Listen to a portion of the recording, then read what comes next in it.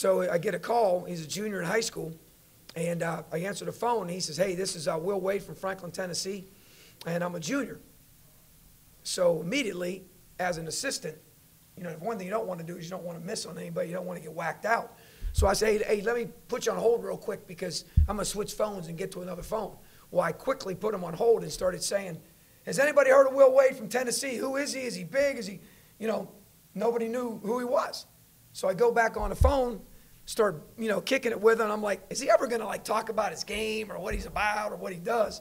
And he said, Coach, I want to commit to you. Okay. And uh, I said, that's great. That's awesome. You know, it's early in the process, so I'm trying to slow play. You know, I'm trying to figure this thing out. And he says, I, I want to be a manager, and one day I want to be a coach in college. And I've always wanted to come to Clemson, and I'd like to come work for you guys. And that's how it all started.